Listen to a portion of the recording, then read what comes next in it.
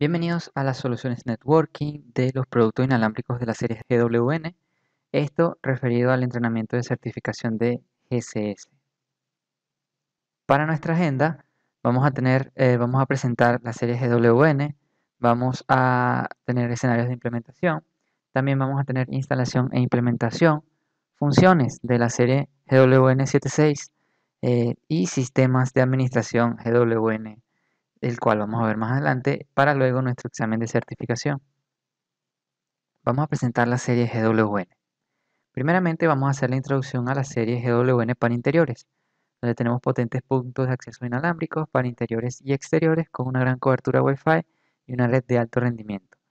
Esto con controlador integrado y gestión centralizada a través de una única interfaz para un control completo de red disponible en todos los modelos GWN para interiores, además del nuevo modelo, como pueden ver acá, que es el, 7, el GWN 7602 y 7605. Como pueden ver en las imágenes, los interiores abarcan el GWN 7610, 7600, 7630, 7605 y el nuevo 7602. Para la parte de exteriores, igual eh, son potentes puntos de acceso inalámbrico con alta cobertura, ya que son para exteriores. Igual tienen, al igual que los interiores, tienen controlador integrado y gestión centralizada a través de una única interfaz. Como pueden ver acá, los modelos para exteriores son el GWN7600LR o Long Range y GWN7630LR. También tenemos el punto de acceso GWN7605, el cual es un punto de acceso Wi-Fi 802.11ac eh, con eh, Wave 2, donde admite eh, más de 100 dispositivos clientes de Wi-Fi también tiene rendimiento inalámbrico de hasta 1,27 gigabits eh, teóricos y dos puertos de red gigabit. También tiene rango de cobertura de 165 metros, tecnología doble banda 2x2, 2 MIMO con beamforming. También, eh, como los otros productos, tiene funciones de seguridad Wi-Fi avanzadas como son el WEP, WPA, WPA2 PSK, WPA, WPA2 Enterprise y el arranque eh, seguro anti-hacking. También con su controlador incorporado para la detección automática en caso de ser maestro o esclavo y también punto de aprovisionamiento automático y administración de hasta 50 puntos de acceso para GWN. Vamos a hablar un poco del punto de acceso GWN 7602, que es el nuevo punto de acceso Wi-Fi empresarial, donde admite más de 80 clientes Wi-Fi simultáneos, tiene un rendimiento inalámbrico de 1.17 gigabits por segundo, un puerto de red gigabit, como pueden ver acá en la imagen a la derecha, de izquierda a derecha ven el puerto PoE color gris, ese es el puerto de red gigabit, y tres puertos de 100 megabits de velocidad, como son los concurrentes de izquierda a derecha. Los puertos LAN 2 y 3 eh, tienen PCE o Power Supply Ethernet para permitir eh, suministrar energía a dispositivos con una potencia máxima de salida de 6 watts. También para la parte Wi-Fi tiene un rango de cobertura de hasta 100 metros. Eh, tecnología MIMO 2x2 2 de doble banda. Funciones de seguridad avanzadas, eh, avanzadas Wi-Fi que incluyen los protocolos de seguridad WP, WPA y WPA2, tanto en PCK como en Enterprise. Y tiene arranque seguro anti-hacking. Admite multidifusión a un SSID predeterminado puede ser administrado por un punto de acceso eh, de la serie GWN, excepto el mismo, el GWN7602, ya que no posee eh, interfaz web con controlador integrado y sistema de administración GWN Cloud y aprovisionamiento automático.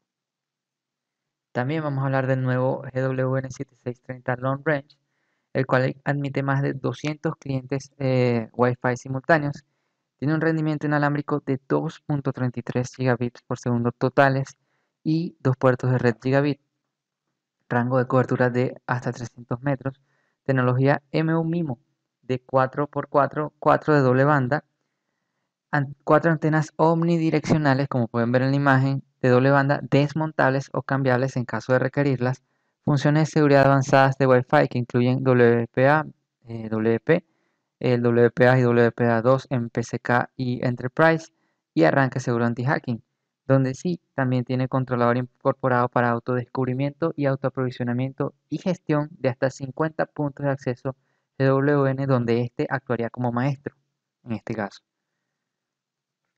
Ahora, vamos a ver un poco eh, eh, la descripción general de los modelos GWN 7600 para interiores, donde eh, los estándares de Wi-Fi, el, 7610 y el 7602, trabajan con AC y el 7600 y 7630 está con la parte de Web 2. Al igual que el 7605. la parte de las antenas, tenemos que tienen tres antenas, el 7610 tanto para 2.4 como para 5 GHz.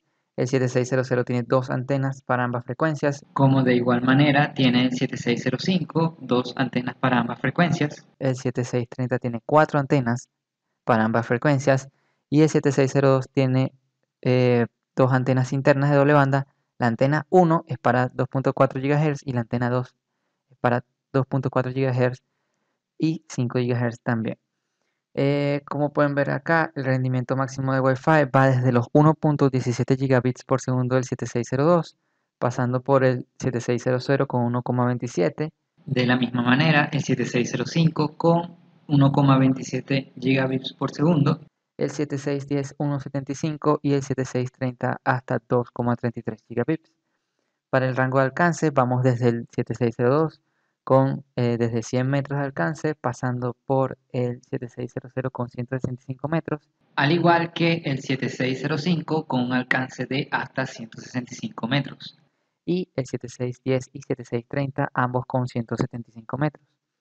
Para las bandas de frecuencia tenemos en el radio de 2.4 que va desde el rango desde 2.400 eh, hasta 2.4835 de GHz, mientras que para el radio de 5 GHz va desde el el rango de 5.150 hasta el 5.250 GHz. También puede tener su frecuencia en, eh, o elevar su frecuencia en eh, desde 5.725 GHz hasta 5.850 GHz. Tenemos el ancho de banda del canal 2.4 eh, tenemos el ancho de banda para 20 y 40 MHz y el 5 GHz también para 20, 40 y 80 MHz. Para canales de FPS, el único que lo implementa es el 7630, eh, donde, están, donde los canales que utiliza son los 52, 56, 60 y 64. Para la tecnología MIMO, este, tenemos que el 7610 utiliza 3x3 para ambas frecuencias de 2.4 y 5 GHz. Para el 7600 utiliza 2x2x2 para ambas frecuencias. 7630 utiliza 4x4, 4 eh, para ambas frecuencias. El 7605 utiliza 2x2, 2 para 2.4 GHz y 2x2, 2 para 5 GHz. Y el 7602 utiliza 2x2, 2 para ambas frecuencias también. Ahora, para la parte de exteriores, eh, para los estándares Wi-Fi, ambos transmiten hasta ASEC utilizando Wave 2. Eh, las antenas para el 7600LR tenemos dos antenas internas que utilizan para eh, tanto 2.4 y 5 GHz, soportando también beamforming, al igual que el 7630 soporta beamforming, pero la diferencia es que en vez de tener dos antenas internas, tiene cuatro antenas, eh, antenas externas para ambas frecuencias. El rendimiento máximo de Wi-Fi, vamos que el 7600 utiliza 1,27 y el 7630 hasta 2.33, teniendo un rango, rango de cobertura ambos hasta 300 metros. Bandas de frecuencia, eh, como pudimos ver anteriormente, para interiores también utilizan para exteriores en los mismos rangos. Tenemos que el ancho de banda del canal es el mismo también para interiores como para exteriores. Eh, los canales de FS, ambos eh, long range, ambos access point long range utilizan los mismos canales que son 52, 56, 60 y 64. tecnología MIMO, eh, ambos utilizan la misma 2x2x2 en ambas frecuencias y la potencia de transmisión máxima, como pueden ver acá, eh, el 7600 en 5 GHz transmite a 22 decibeles métricos y 20 decibeles métricos. En 2.4 transmite 22 decibeles métricos y 17 decibeles métricos. Mientras que para el 7630, tanto en 2.4 como 5 GHz, en ambas FCC o CE transmite a 21 decibeles métricos. Viendo eh, información general tanto de eh, access points internos como externos, podemos ver que eh, para los SSID la capacidad que tienen para administrar es desde el 7602 hasta 4 SSIDs por punto de acceso y los demás modelos hasta 16 SSIDs por punto de acceso. Para los clientes concurrentes tenemos que el 7602 admite más de 80. Luego el 7605 admite más de 100 clientes. Luego el 7630, tanto el interno como el LR admiten hasta más de 200. El 7610 hasta más de 250 y el 7600 y 7600 long range hasta más de 450. Para la, eh, seguridad del sistema tenemos eh, los diferentes protocolos de seguridad Wi-Fi, web, WPA, WPA2 tanto en PCK como en Enterprise, tanto en TKIP como en AES, arranque seguro antipiratería y bloqueo de datos, control kit crítico a través de firmas digitales, certificado de seguridad único y contraseña predeterminada aleatoria por dispositivo. También tenemos los protocolos de red, como pueden ver acá, vamos desde el IPv4 pasando por los diferentes estándares 802.1 como son el Q, el P, el X, el E, WMM y el 802.11RK eh, haciendo alusión al roaming. Quality Over Service también maneja donde tenemos el estándar 811E WMM aplicable también para VLAN y TOS. Controlador incorporado, como pueden ver acá, el GWN7602 no posee controlador eh, incorporado. Y eh, para los demás modelos tenemos que el 7600 y 7600LR admiten hasta 30 puntos de acceso eh, GWN en una red y los demás modelos admiten hasta 50 puntos de acceso. Para el ahorro de energía automático no aplica para el 7600 interno y para los demás modelos tenemos el, 7610 tenemos detección automática del tipo de POE y para los otros modelos tenemos detección y adaptación automática del tipo de POE. Para la parte de interfaces físicas tenemos que el GWN 7630 y 7605 poseen eh, dos puertos de red, uno eh, con posibilidad para recibir PoE o Power over Ethernet y el otro para red simple.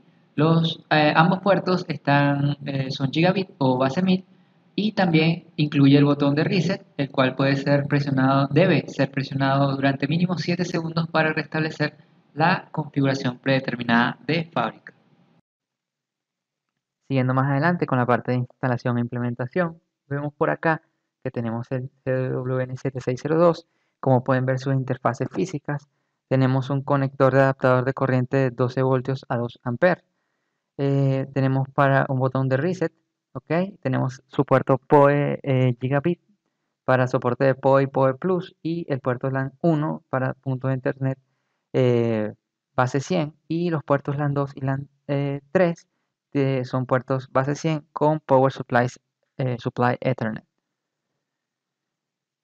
También por acá, siguiendo con la instalación e implementación, vemos el CWN7630LR por la parte trasera donde nos muestran sus puertos, donde se encuentra su botón de reseteo o restablecimiento, donde se presiona hasta 7 segundos para restablecer la configuración de fábrica.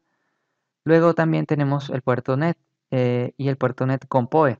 Ambos puertos gigabit, uno con, PoE, uno con PoE, el otro sin. Luego también continuando tenemos la función eh, takeover eh, que nos permite volver a parear los puntos de acceso esclavos cuyo máster se encuentra fuera de línea con otro equipo maestro dentro de la misma red. Es decir, si tenemos un access point puesto como takeover, cuando el máster, que es el que controla los access points, falle, este pasará a ser el nuevo máster. Para descubrir los puntos de acceso eh, eh, pueden ser realizados de los siguientes tres, eh, a través de los siguientes tres pasos. Descubrir los puntos de acceso esclavos desde el equipo maestro funcional, Master 2 en el ejemplo, como ven en la imagen. Presionar el botón Takeover de los puntos de acceso de interés, cualquiera que ustedes requieran que sea, y introduzca la contraseña admin del punto de acceso maestro anterior como Takeover Key. De otra manera, no va a funcionar.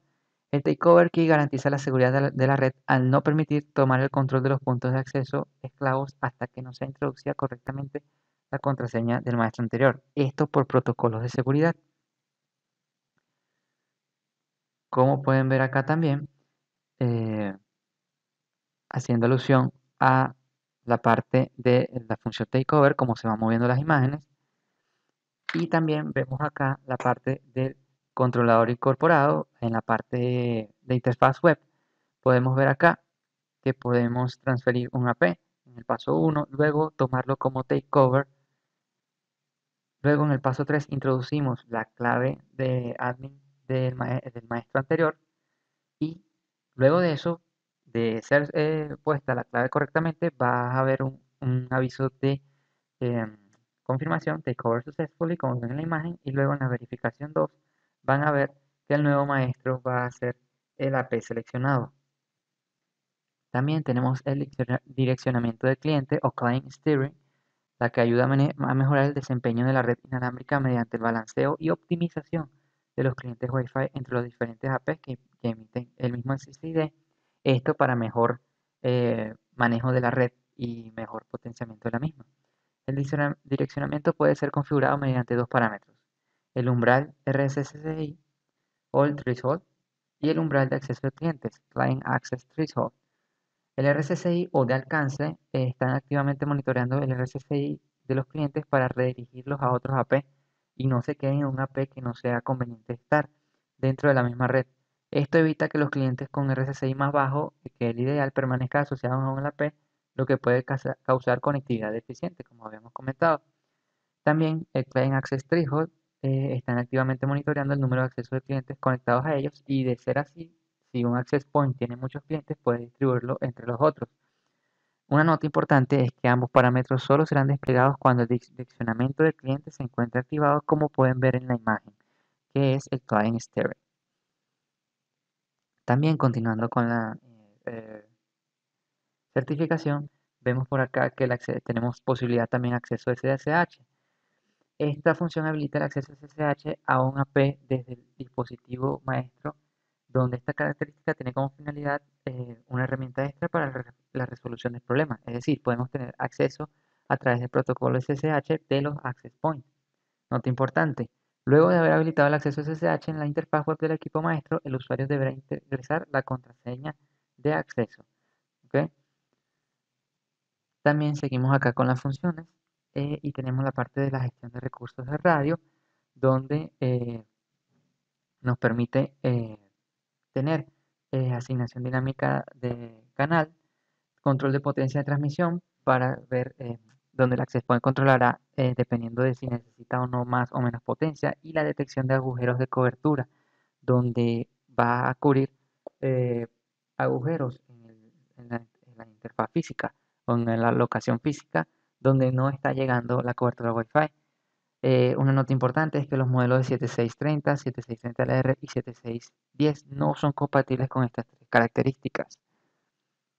Luego también tenemos las funciones de la serie CWN7600 eh, y tenemos la parte del Client Bridge que permite un punto de acceso se, conecte con otro, como pueden ver en la imagen, a través de Wi-Fi, pero el que, se, el, que está conectado en la red a través de, de un puente Wi-Fi eh, dará red o otorgará red a través de su puerto de LAN de forma transparente. Inicia sesión. Eh, para realizar esto, tenemos que iniciar sesión en la interfaz de usuario web del WN Maestro, o en este caso el de la derecha.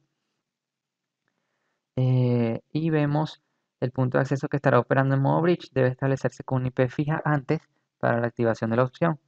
Habilitamos la opción Client Bridge Support en la ruta SSID y una vez esta opción esté activada, el punto de acceso establecido con el SSID puede transformarse como Client Bridge pulsando sobre el botón Bridge en este caso.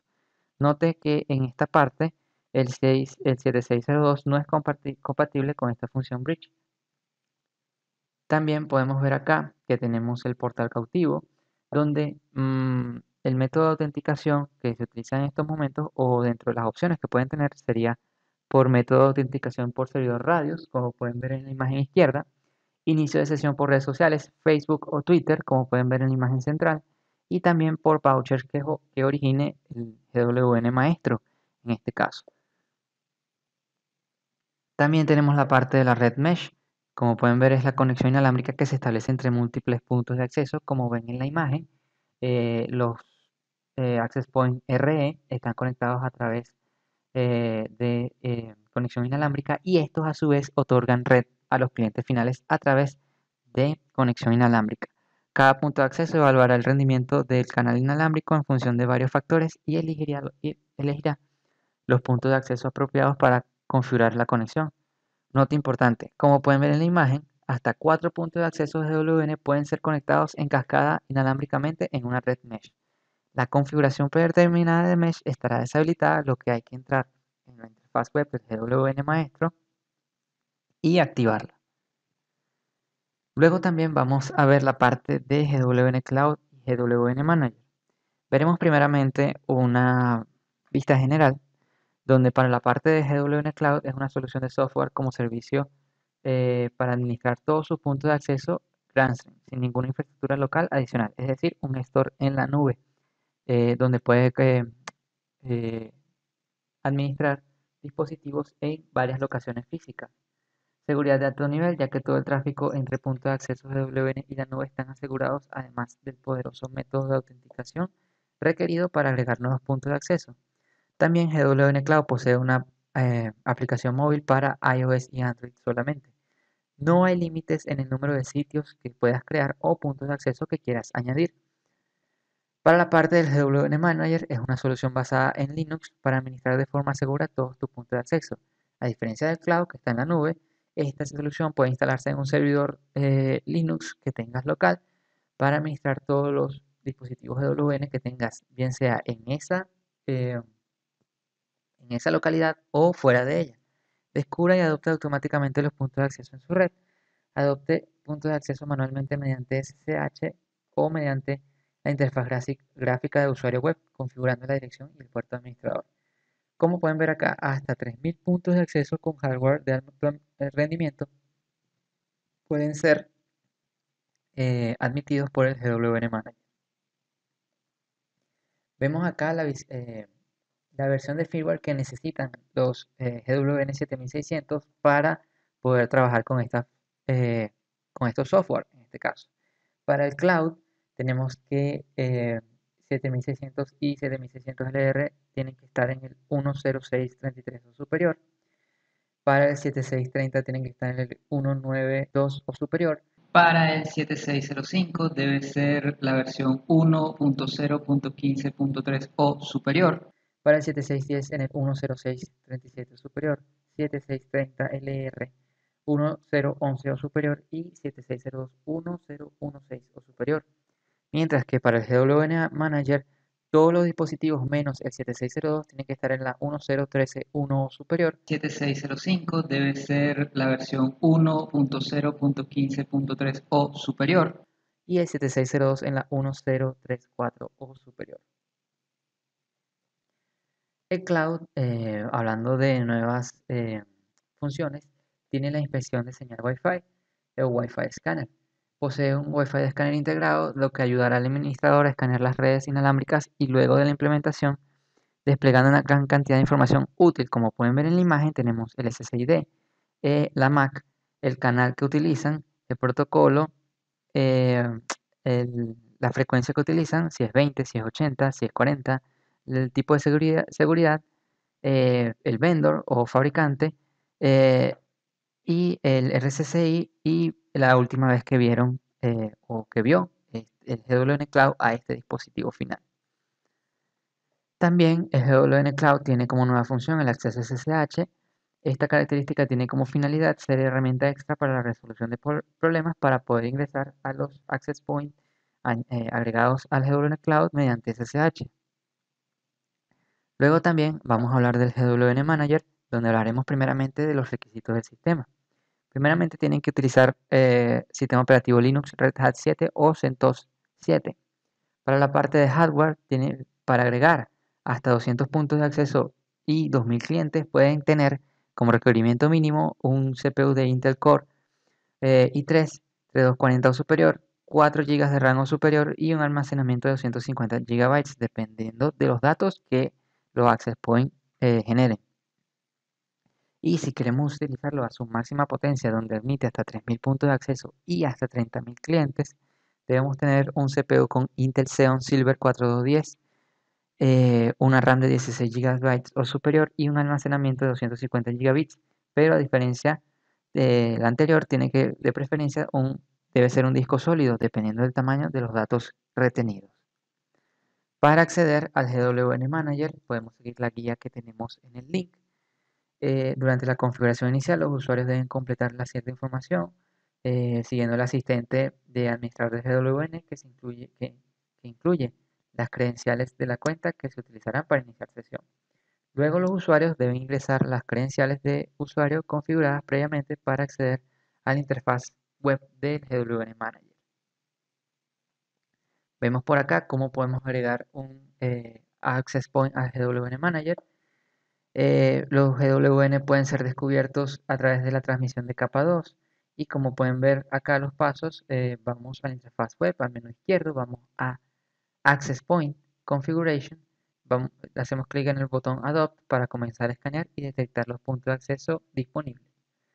Se mostrarán los puntos de acceso y el usuario debe seleccionarlo marcando la casilla izquierda o si queremos marcarlos todos en la casilla izquierda superior como ven en la imagen.